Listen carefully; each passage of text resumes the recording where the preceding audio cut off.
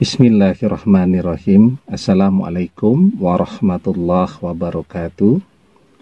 Bapak-bapak, ibu-ibu, mas-mas, mbak-mbak, adik-adik, saudara-saudara sekalian, di mana pun Anda berada, berjumpa kembali dengan saya Iip Wijayanto dalam program Solusip, Solusi Asik dari Pak Iip. Ya, selama 15 sampai 20 menit ke depan kita akan ngobrol, kita akan diskusi, kita akan membahas dan mengupas serba-serbi persoalan kehidupan mulai dari pergaulan, kemudian rumah tangga, pernikahan, perceraian, eh, konflik, permusuhan, perdamaian, juga tidak lupa tentang persoalan cinta. Dan seperti biasa, kalau ada pertanyaan yang ingin diangkat atau ingin dibahas dalam program ini, bisa kirim pertanyaannya ke nomor WA yang ada di bawah ini dengan mencantumkan hashtag solusip ya, kemudian ketik pertanyaannya apa.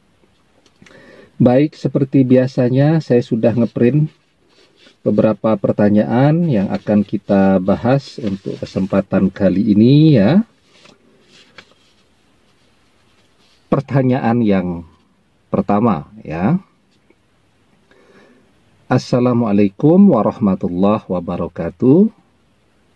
Pak Iib, aku punya pacar dan sudah pacaran hampir 8 tahun kami ada rencana buat menikah, tapi terkadang, oh tapi terhalang.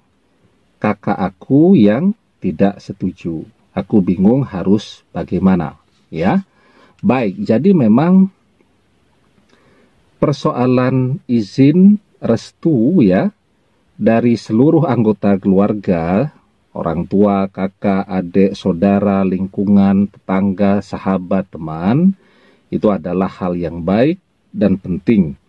Tetapi bahwa bisa saja orang kemudian akan menjalani prosesi pernikahannya dalam proses awal itu tanpa mendapatkan dukungan atau supporting dari lingkungannya, dari sahabat-sahabatnya, dari keluarganya. Itu bisa saja terjadi. Dan di dalam perjalanannya, karena dia bisa menampilkan diri dengan baik, menempatkan diri dengan proporsional, dengan baik dia bisa merebut dan mengetuk hati orang-orang yang menolaknya. Tidak sedikit loh ya, orang yang di awal pernikahan itu ditolak habis-habisan, kemudian di dalam perjalanannya justru menjadi saudara ipar kesayangan dalam perjalanannya menjadi menantu kebanggaan itu jumlahnya juga tidak sedikit ya. Dan sebaliknya, ada juga orang yang kemudian menjalani proses awal pernikahan itu dengan mendapatkan dukungan utuh dan penuh. Keluarga kedua belah pihak mendukung, mensupport Saudara-saudara semuanya support, teman-teman semuanya support dan bahagia. Tetapi dalam proses perjalanannya mulai muncul benih-benih konflik, persoalan, perasaan iri, kedengkian, saling hasut, dan seterusnya. Dari bersahabat, dari bersaudara dengan baik, dari diterima dengan tangan yang terbuka lebar, akhirnya justru jadi bermusuhan, tidak bertegur sapa, bahkan banyak juga yang rame terus sampai akhir hayat. Ya. Nah, jadi memang kita sih berharap semuanya berjalan pada trek yang ideal ya. Kenapa saya katakan trek yang ideal? Trek yang ideal itu yang bagaimana? Ketika seseorang mengawali proses pernikahannya dengan mendapatkan support dari lingkungan, dari saudara, dari keluarga, dari teman, dari sahabat. Seiring perjalanan pernikahan, hubungan menjadi tambah harmonis, tambah rukun, dengan mertua juga sangat dekat, dengan saudara-saudara ipar juga sangat akrab ya. Antar anak saling mengenal, saling mensupport, saling menjaga, itu harapan semua orang. Tetapi memang kondisi yang ideal ini jarang sekali terjadi. Justru dalam perjalanan pernikahan, tidak sedikit yang dengan mertuanya itu walaupun satu rumah, tapi kalau ketemu duduknya ungkur-ungkuran. Ya, nah jadi itu untuk kita uh, ambil ibrohnya ya, pelajaran bersama bahwa memang hidup ini jarang sekali orang bisa menemukan kondisi yang ideal, tetapi kita berusaha untuk memperbaiki keadaan yang tidak ideal tadi agar menjadi lebih baik. Ya. Jadi bagaimana persoalan uh, restu dari kakak tadi? Yang penting dikasih tahu, yang penting dikomunikasikan. Terlepas masalah setelah itu yang bersangkutan akan mensupport atau tidak, itu adalah ranahnya masing-masing, bidangnya masing-masing, hidupnya masing-masing. Ya, kita akan berjalan pada trek kehidupan rumah tangga kita sendiri, sementara yang bersangkutan juga akan berjalan pada treknya sendiri. Sebagai keluarga, kakak adik ya sampai kapan pun akan terhubung, namanya saudara sedarah ya. Tetapi saling mendukung oke, okay, saling memberikan masukan oke, okay, saling curhat oke, okay, saling mensupport oke, okay, tetapi tidak saling mencampuri persoalan rumah tangga satu dan lainnya, ya. Nah, kita yang akan menjalani pernikahan tadi, ya. Kita yang akan menjalani pernikahan itu dari pagi sampai malam sampai pagi lagi sepanjang hidup kita, maka kitalah yang paling berhak untuk menentukan siapa yang paling layak dan siapa yang terbaik untuk bisa menjadi suami atau istri kita nanti ya. Jadi menurut saya ya, kenapa sih banyak sekali terjadi perselingkuhan?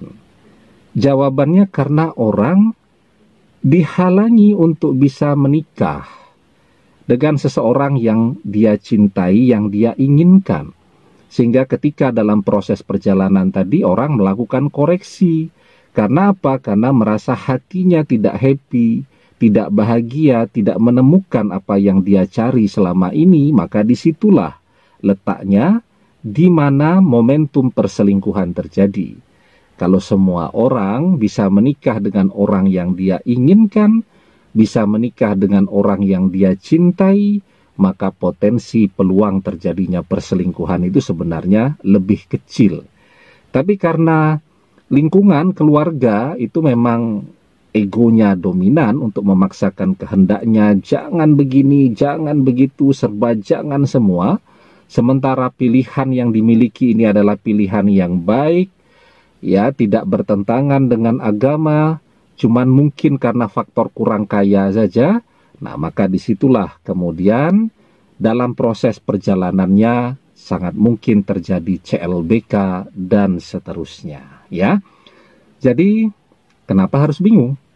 Kalau memang yakin dia calon pendamping hidup yang terbaik, calon suami yang baik, maka lanjutkan ke pernikahan. Semoga dalam proses perjalanannya, kalau suami tadi atau istri ya yang ditolak tadi itu bisa mempresentasikan dirinya dengan baik, bisa menempatkan dirinya dengan baik di tengah-tengah keluarga. Semoga setelah itu hubungan yang awalnya renggang, yang awalnya tidak diterima bisa berjalan harmonis seperti yang kita harapkan.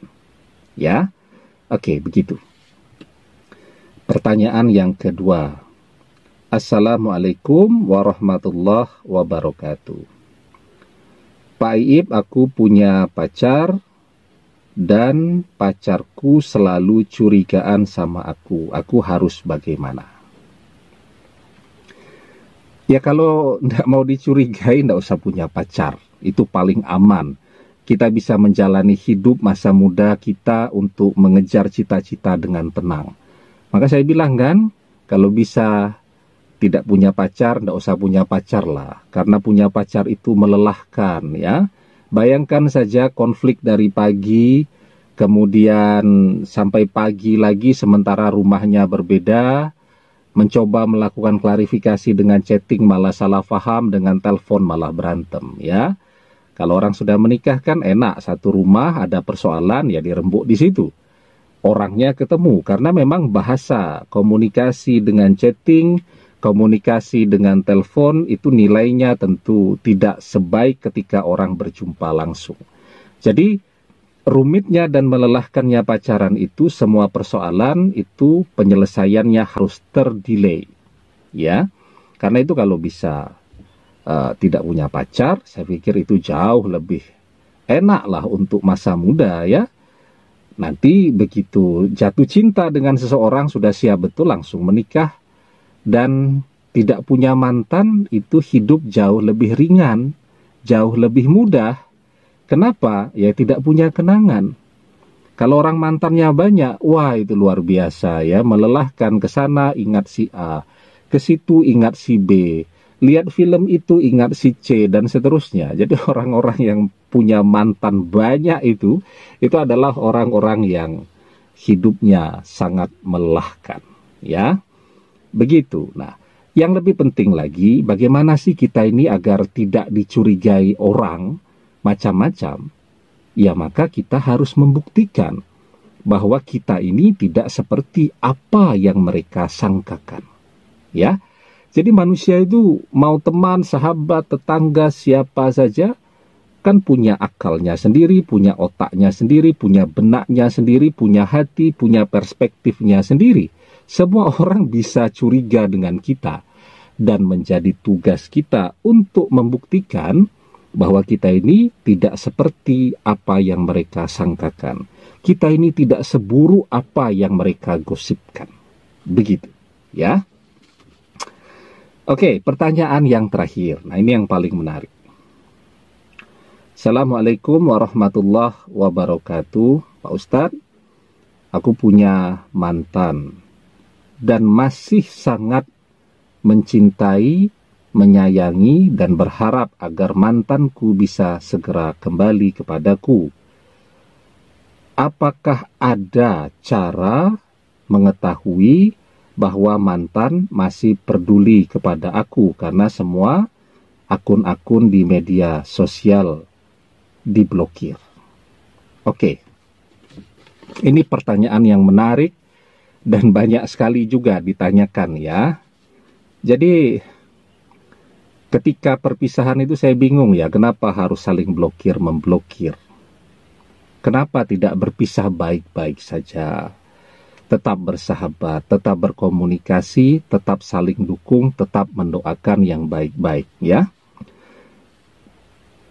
Sekarang itu memang banyak aplikasi ya. Saya itu kan background pendidikan saya juga pendidikan komunikasi ya artinya cukup akrab lah dengan tools alat-alat komunikasi berbagai software dan aplikasi-aplikasi. Saya sudah pelajari itu berbagai aplikasi untuk ngecek siapa saja yang rajin uh, menstalker akun-akun media sosial kita, ngepoin media sosial kita tadi itu tidak ada yang betul-betul apa ya yang bisa dipertanggungjawabkan hasilnya tadi ya berbagai aplikasi yang ditawarkan ya. Nah, jadi walaupun seperti misal uh, WhatsApp ya, kemudian Instagram juga sudah ada stories kan, Facebook juga ada stories. Itu kan bisa dilihat siapa saja yang melihat status yang kita buat. Tapi dengan catatan kalau dia masih uh, menjaga akun aslinya atau akun yang bersangkutan, akun resminya. Yang jadi persoalan kan kalau sudah diblokir ya. Tetapi kan sebenarnya kalau kita mau meraba-raba walaupun nilai kesahihannya juga tidak 100% ya. Orang zaman modern ini kan biasa tuh menggunakan media sosial, ada akun resminya, atas nama dia ada juga namanya fake account ya.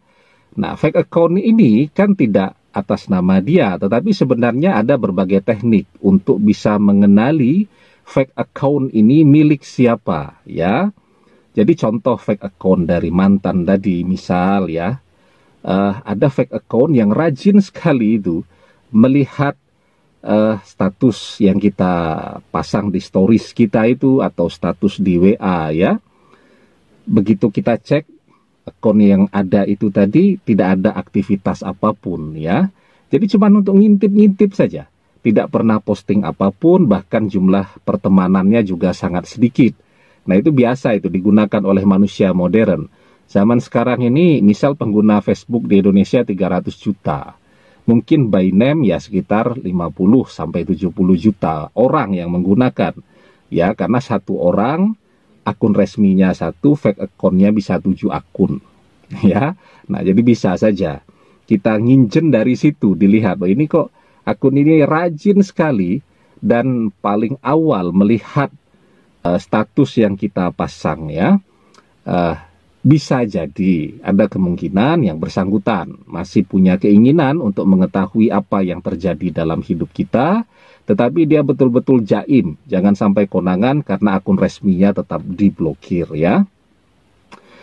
Kalau kemudian lebih beruntung lagi, kita bisa ngecek pertemanannya, itu nanti akan kelihatan ya. Jadi kalau misalnya dari akun tadi, kita tahu nama teman-teman dia, ada salah satu teman akrabnya, teman kuliahnya, teman kerjanya yang terhubung dengan fake akun tadi, nah maka prosentase kemungkinan itu akun dari mantan tadi semakin besar. Ya, tetapi ya tadi butuh ketelitian kalau pengen jalan pintas menggunakan aplikasi, saya pikir sulit ya. Karena aplikasi kan lebih banyak bentuknya game-game saja itu ya. Uh, dan tentu Facebook dan lain-lain itu menjaga privasi orang juga ya. Kalau stories kan memang tujuannya untuk dilihat. Tapi kalau kemudian yang menstalker tadi uh, itu juga dijaga privasi mereka ya. Apalagi Google, misal kita mencari diri kita sendiri di Google kan, orang bisa saja menggunakan mode penyamaran di Google. Lebih hati-hati lagi dia agar jangan konangan oleh mantannya ya.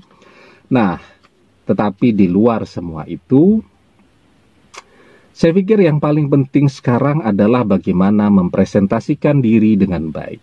Ketika misal nih mantan ini tidak mau lagi mendengarkan uh, penjelasan yang kita berikan ya tidak apa-apa. Kan kita bisa memberikan penjelasan secara umum sebagai status yang kita pasang di media sosial.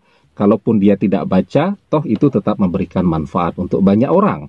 Tapi kalau kemudian dia tetap kepo, tetap pengen tahu, ya semoga itu bisa membuka hati yang bersangkutan ya. Dan kalau memang punya keinginan untuk kembali kepada mantan, prinsip jangan pernah lelah untuk berdoa agar dia bisa segera kembali. Kembali dengan kesadaran seutuhnya, kembali dengan cinta yang lebih besar lagi. Begitu ya.